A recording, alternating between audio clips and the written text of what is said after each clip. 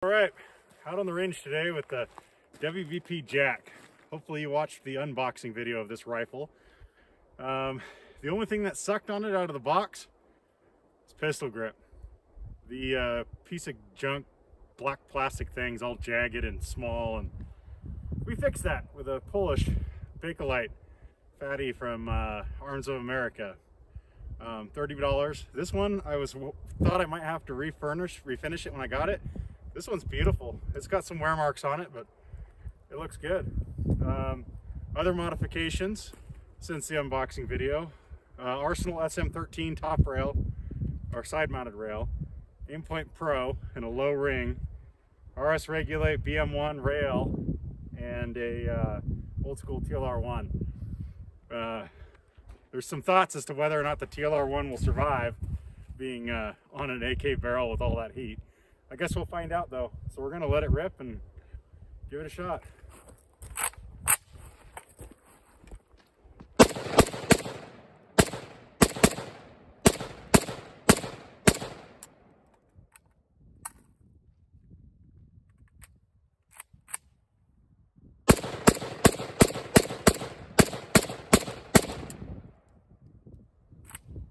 Clear.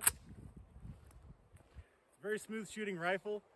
Um, the only thought I have on the RS Regulate mount on this uh, on the jack in particular is the side rail on the WBP, WBP jack is a little bit thicker than typical AKM mount. So it's offset to the left just a little bit. This is not an issue.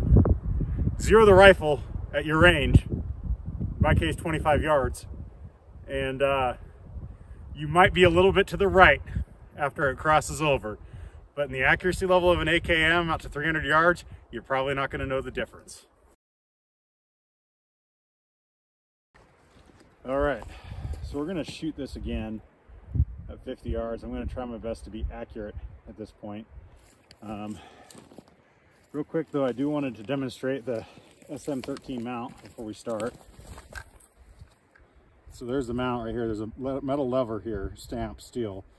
And then mount's aluminum there's a steel block screwed in right here and then the clamp on the inside that clamp and the bolt and the castle nut are all steel. There's a little bit of wear on the aluminum right here and right here on the mount but it otherwise looks good. So that's i cranked i tightened down that castle nut. And it seems like it's nice and snug now. So we'll see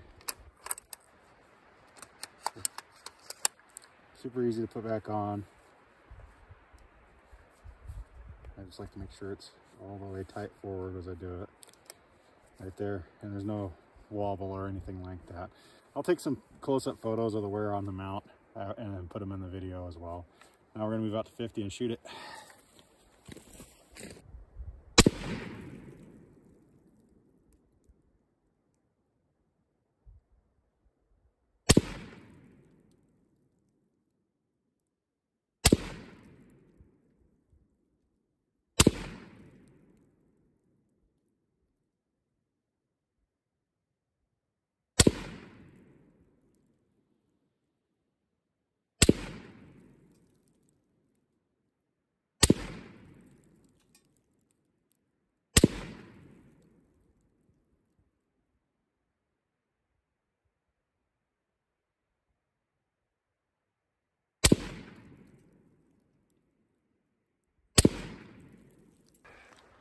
You can see we're a little bit high and to the right, 50 yards, 10 shot group.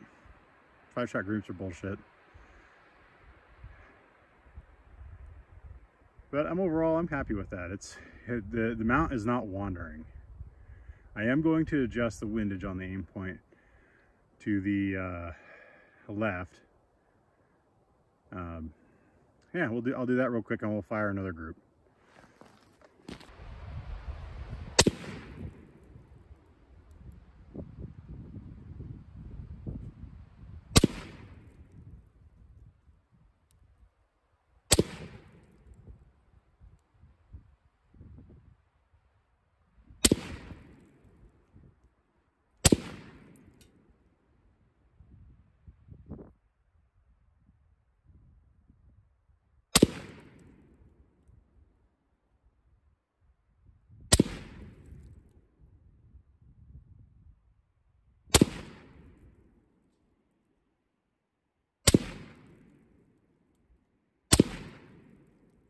Right, there's another 10 shots, 50 yards. Um, just again, quick to point out, the Aimpoint zero at 25. That's why we're high. Uh, 762 has a pretty arching trajectory when zero at 25, which is good. Uh, Soviet method of aiming, aim for the belt line, and you'll hit them out to 300 without any sight adjustment. So I'm happy with the windage on this now. It's centered at 50. I'm not going to touch it until we get an opportunity to shoot at at least 100. I'm hoping for 150 to 200. And if it looks like it's a little bit off, I might adjust it again. Again, though, I don't know that I'll see the difference when you have a, a huge group. Would say she's grouping pretty good, though. You know, all all things can consider with the idiot behind the trigger here running it. I'm sure somebody that wasn't the size of Gigantor with a with a Warsaw Pact stock could uh, do better than I could. Rifle's probably capable of more, but um, yeah.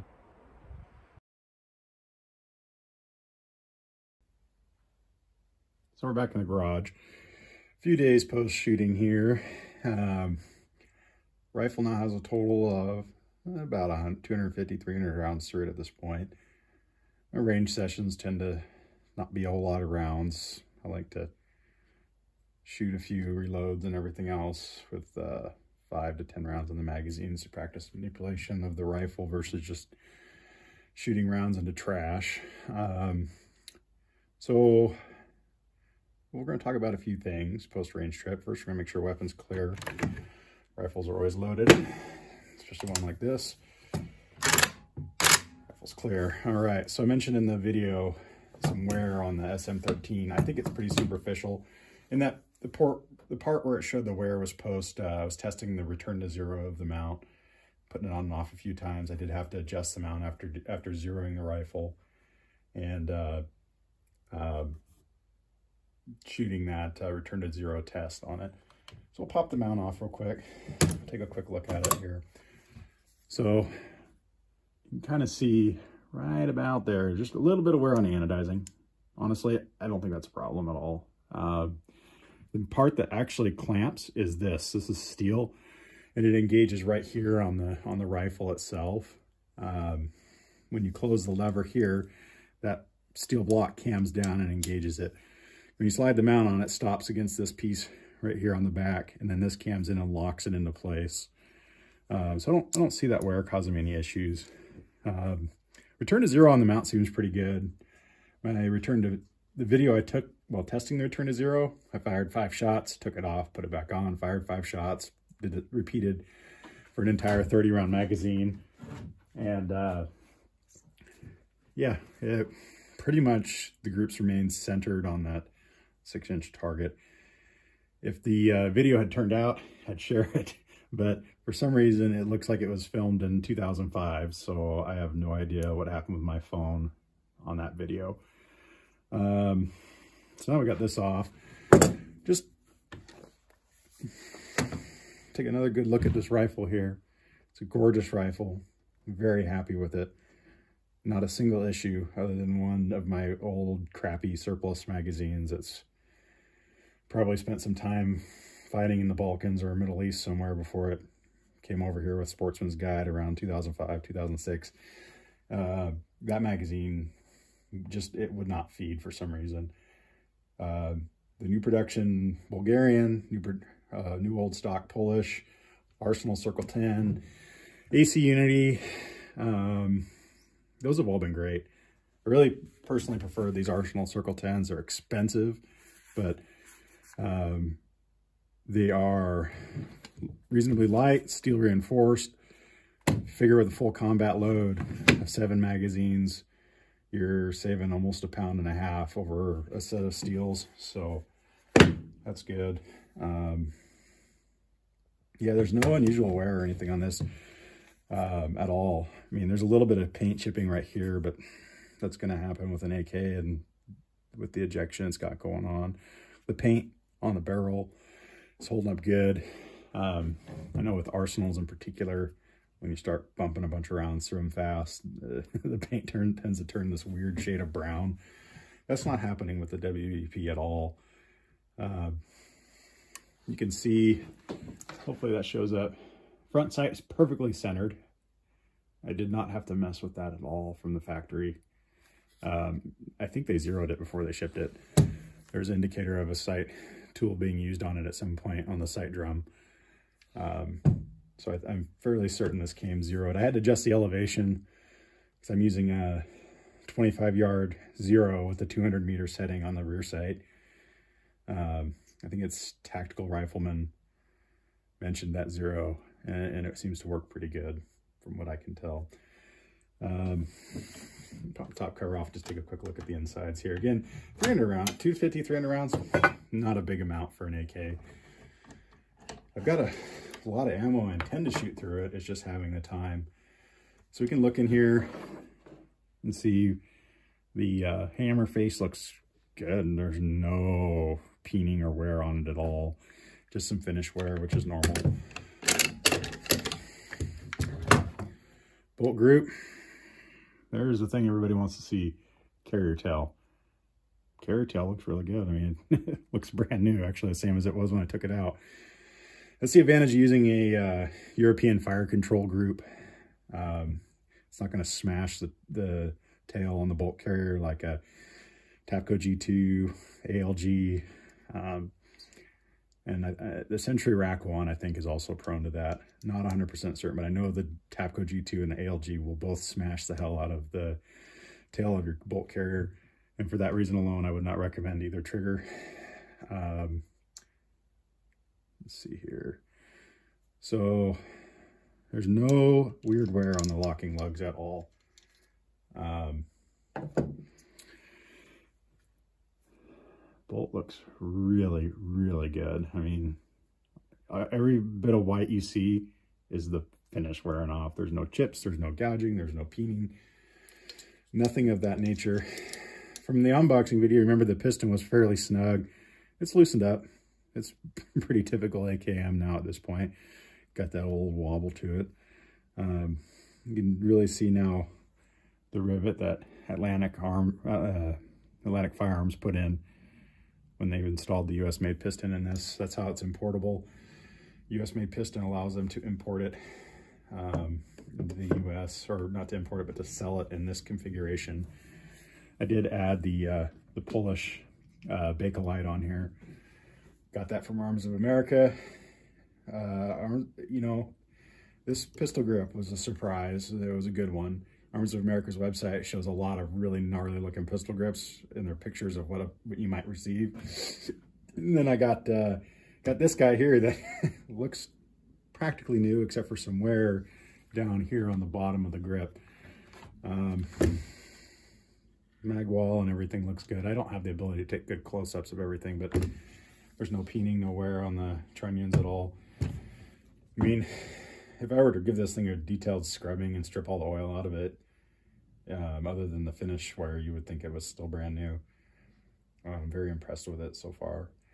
And I have high expectations that it will continue. Um, I think right now in 2023, the WBP Jack is the uh, import AK if you want a nice rifle. If you just want to mag dump into trash, and don't care about the fit and finish of the rifle, but want something that'll run, WASR 10, absolutely, it's cheaper. Um, but if you want a really nicely finished rifle that is guaranteed to be straight out of the box and not have canted sights or crappy finish or anything like that, uh, WBP by far.